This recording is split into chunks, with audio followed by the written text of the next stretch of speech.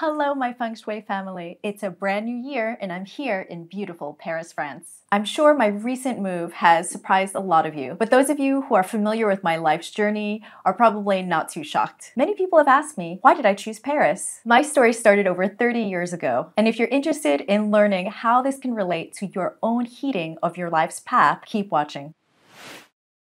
I'm Susan Chan, certified feng shui consultant, helping you create a beautiful and intentional space and a beautiful intentional life. Leaving my comfort zone in New York City to create a European branch of my business, Feng Shui Creative, was not easy. It wasn't just a professional leap, it was profound personal transformation. Once I decided to take this big step, I knew immediately that Paris was where I was headed. Picture 13 year old Susan watching Truffaut movies like Stolen Kisses, Breathless, and The 400 Blows, and dreaming of moving to Paris. I was further hooked after taking French lessons, a short trip when I was 16 years old, and countless other French movies. In 1991, a long time ago, I know, I participated in my university's Paris Exchange program, and that sealed the deal. At the end of my Parisian séjour, I returned to New York City a completely changed person, and I knew that one day I would return to Paris. Talk about being fully aware of the energy, accepting it, and following it. When people don't know what feng shui is, I use this example. You know when you walk into the room and you know immediately if the energy feels off and you want to leave,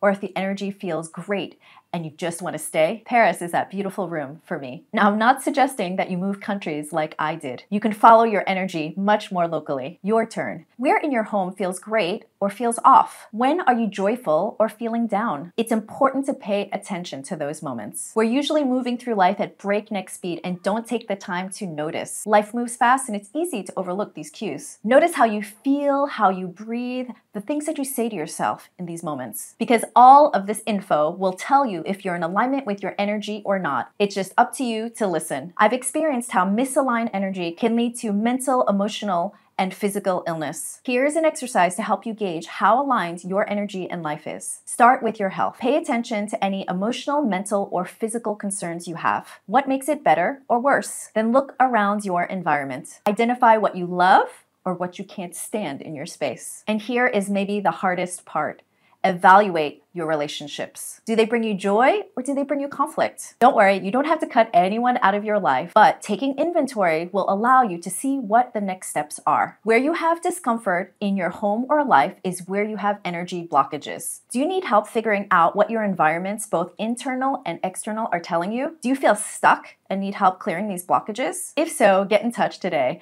I have some firsthand experience. And would you like to know more about my experience in Paris in 1991? Let me know in the comments. I'm happy to share. Did you like this video? If so, subscribe and click the bell to get alerts for when I publish new videos about living an intentional feng shui life. And remember, feng shui is not a luxury, but a necessity. See you soon.